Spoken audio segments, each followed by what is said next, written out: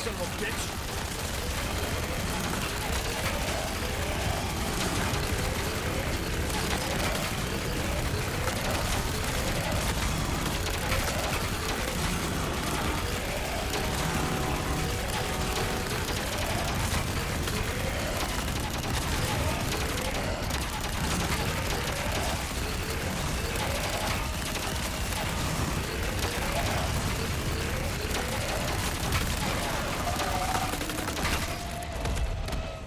Finally, some peace and quiet.